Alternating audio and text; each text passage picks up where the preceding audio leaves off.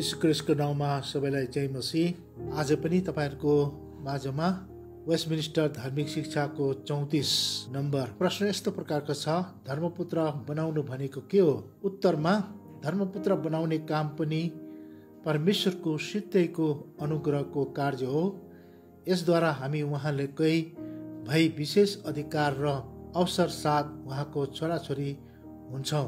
अनि जब हामी पहिलो योहन्ना त्यसको तिनको एकमा पढ्छौँ। यसो लेखेको छ हेर पिताले हामीलाई कस्तो किसिमले प्रेम गर्नुभएको छ कि हामी परमेश्वरका सन्तान भनी कहलिएकाहरू हौँ र साँच्चै हौँ? पनि यसै कारणले त संसारले हामीलाई चिन्दैन किनभने त्यसले उहाँलाई चिनेन। फेरि योहन्ना रची सुसमाचार त्यसको एक अध्यायको बाह्र पदमा हामी यसरी पढ्छौँ तर जतिले उहाँलाई ग्रहण गरे र उहाँको नाउँमाथि विश्वास गरे उहाँले तिनीहरूलाई परमेश्वरको सन्तान हुने अधिकार दिनुभयो। रोमीको पत्र आठको सत्रमा यसरी लेखेको छ र सन्तान हौ भने त उत्तराधिकारी र ख्रिससँग साझे उत्तराधिकारी उहाँसँग दुःख भोग्छौँ भने त हामी उहाँसँगै महिमित पनि हुनेछौँ। ख्रिसमा विश्वासद्वारा हामी परमेश्वरका धर्मपुत्र अथवा सन्तान बन्छौँ। यो चाहिँ हाम्रो मुक्तिको एक खण्ड हो। पहिले हामी पाप र शैतानका दास थियौँ। हामी परमेश्वरको परिवारमा थिएनौँ। परमेश्वर सबै मानिसहरूका सृष्टिकर्ता त हुनुहुन्छ तर उहाँ सबै मानिसका पिता हुनुहुन्न। उहाँ ख्रिसमा विश्वास गर्नेहरूका मात्र पिता हुनुहुन्छ। हामीले विश्वासद्वारा ख्रिसको धार्मिकता पाएपछि मात्र परमेश्वरले हामीलाई उहाँको परिवारमा ग्रहण गर्नुहुनेछ। कुनै धर्मपुत्रले त्यसलाई धर्मपुत्र बनाउने त्यसका पिताको पुरा अधिकार पाउँछ। त्यो प्राकृतिक रीतिले शरीर अनुसार पुत्र नभए तापनि त्यो नियम अनुसार पुरै पुत्र हुन्छ। त्यसरी नै हामीहरू पनि जो स्वभाव अनुसार पापीहरू थियौँ अब क्रिसद्वारा आत्मिकी रीतिले परमेश्वरका साँचा सन्तान बनेका हुन्छौँ र हामी स्वर्गमा हाम्रो पुरा अधिकार पाउनेछौँ।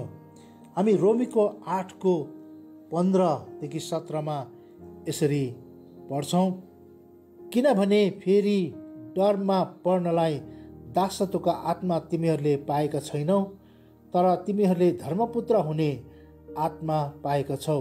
यसैले जब हामी परमेश्वरलाई अब्बा पिता भनी पुकार्छौँ त्यो चाहिँ हामी परमेश्वरको सन्तान हौ भनी पवित्र आत्माले हाम्रा आत्मासँग गवाई दिनुभएको हो।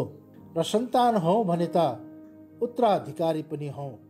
परमेश्वरका उत्तराधिकारी र ख्रिससँग साँचे उत्तराधिकारी उहाँसँग दुःख भोग्छौँ भने त हामी उहाँसँग महिमित पनि हुनेछौँ। फेरि हामी गलातीको चारको तिन पददेखि सात पद यसरी लेखेको छ हामी पनि यसरी नै बालक छौन्जेल संसारका दैवी शक्तिहरूको दासत्व मुनि थियौँ तर समयको पूर्णतामा परमेश्वरले आफ्नो पुत्रलाई पठाउनु भयो। उहाँ एउटी स्त्रीबाट जन्मनु भयो तथा व्यवस्थाको अधीनमा जन्मनु भयो। व्यवस्थाको अधीनमा रहनेहरूलाई मोल तिरेर छुट्याउनलाई उहाँ पठाइनु भयो। ताकि हामी पुत्रको पुरा हक प्राप्त गर्न सकौँ। तिमीहरू पुत्र भएका हुनाले परमेश्वरले आफ्नो पुत्रको आत्मा हाम्रो हृदयमा पठाइदिनु भयो जसले हे अब्बा पिता भनेर पुकार्नुहुन्छ। यसै कारण परमेश्वरद्वारा तिमी अब उपरान्त दास होइनौ तर पुत्र हौ र पुत्र हौ भने त उत्तराधिकारी पनि हौ। फेरि एपिसीको एक अध्यायको चार र पाँचमा हामी यसरी पढ्छौँ उहाँको सामुन्ने पवित्र र निष्कल्क हौ भनेर संसारको उत्पत्तिभन्दा अघिबाटै उहाँले हामीलाई चुन्नुभयो। उहाँको इच्छाको लक्ष्य अनुसार ख्रिस यीशुद्वारा प्रेममा उहाँले हामीलाई आफ्ना सन्तान हुनलाई अघिबाटै नियुक्ति गर्नु भएको थियो। परमेश्वरको धर्मपुत्र वा सन्तान हुनु चाहिँ हाम्रो उद्धारको एउटा मुख्य आशिष हो। त्यसको अर्थ यो हो कि परमेश्वरको स्वभाव र गुणहरू पवित्र आत्माद्वारा हामीमा पस्छन्। त्यसको अर्थ यो पनि हो कि हामी परमेश्वरको घनिष्ठ सङ्गतिमा हुन्छौँ जस्तो कुनै एउटा बालक आफ्नै संसारिक पिताको सङ्गतिमा रहन्छ। तर धर्मपुत्र भएर हामीले पुत्र जस्तै गरी व्यवहार गर्नुपर्छ। परमेश्वरको धर्मपुत्र वा सन्तान हुनु एउटा ठुलो हक र आनन्दको कुरा हुन्छ। तर साथसाथै त्यो एउटा ठुलो जिम्मेवारी पनि हो। धर्मपुत्र बनाउनु भनेको के हो? धर्मपुत्र बनाउने काम पनि परमेश्वरको सित्तैको अनुग्रहको कार्य हो। आज तपाईँ र म जसले यीशु ख्रिस्टलाई विश्वास गरेका छौँ उहाँलाई ग्रहण गरेका छौँ हामीलाई परमेश्वरले आफ्ना सन्तान हुने अधिकार दिनुभएको छ। अब हामी परमेश्वरलाई एउटा सृष्टिकर्ताको रूपमा मात्रै नभएर एउटा पिताको रूपमा पनि हामी पुकार्न सक्छौँ आब्बा भनेर। त्यस्तै प्रकारले आज हामी धर्मपुत्र बनाउनु भनेको के हो त्यसको अर्थ हामीले बुझ्न सकेका छौँ।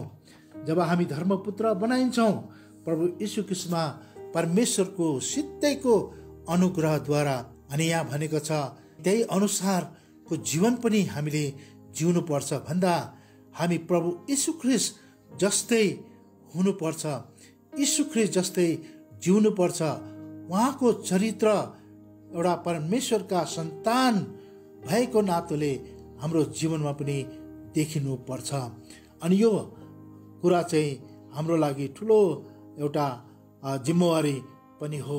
हामी जिम्मेवारी हुनुपर्छ कि परमेश्वरमा हामी धर्मपुत्र बनाइएका छौँ अनि हामी परमेश्वरको उत्तराधिकारी पनि हौँ अनि हामी परमेश्वरका राज्यका हकवाला पनि हौँ। त्यसै कारण हाम्रो जीवन चरित्र हाम्रो स्वभाव हाम्रो चालचलन हाम्रो कस्तो हुनुपर्छ भन्ने कुराले हामीलाई ठुलो चेतावनीको रूपमा दिइराखेको हामी पाउँछौँ। अनि यो जिम्मेवारी तपाईँ र मैले उठाउनुपर्छ कि धर्मपुत्र हामी परमेश्वरका सन्तान हौ भनेर एउटा धाक लगाएर मात्रै पुग्दैन तर यसको जिम्मेवारी के हो अनि यसलाई पनि हामी वहन गर्नुपर्ने हुन्छ। परमेश्वरले हामी सबैजनालाई आशिष गर्नुभएको होस्। आमेन।